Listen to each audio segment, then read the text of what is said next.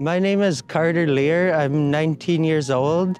Currently, I'm working with the University of Guelph, uh, taking part in a project called ArcBio, where we are building a DNA reference library for all of the insects in the Arctic. And what I'm doing right now is sampling for aquatic invertebrates.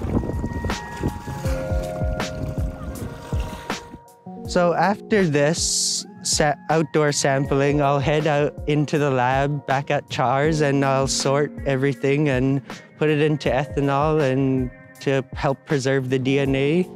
And then it will all be sent down to uh, Guelph in Ontario for DNA analysis.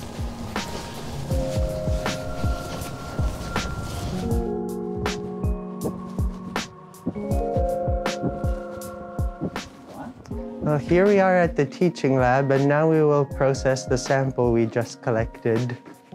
And what I'll do in terms of processing is I'll sort out each of the species, or at least the different families, and I'll try to get at least five minimum from each family if there is that many.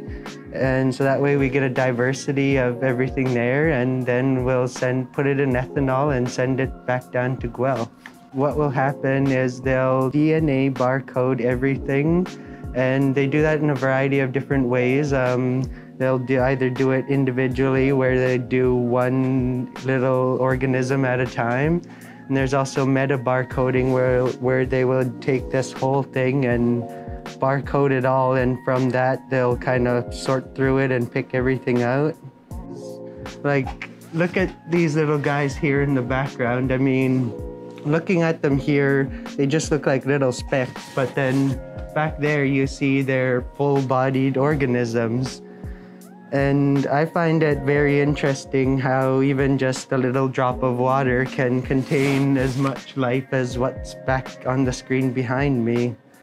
Um, and for some reason, I've always been interested in insects ever since I was a little kid. So I've been doing this work since back in 2019 and it's now 2022. And I've definitely had a positive impact. Like I think CHARS has definitely had a positive impact. For me, my experience, it's definitely positive because I've learned so much, not just about the ecosystem here and including these invertebrates in the back, but I've also learned a lot about myself and what I enjoy to do. Yeah, I feel I do feel like I'm contributing to science when I do this because there is not really a reference library for DNA for the insects up in the Arctic. So I do feel that it is important work.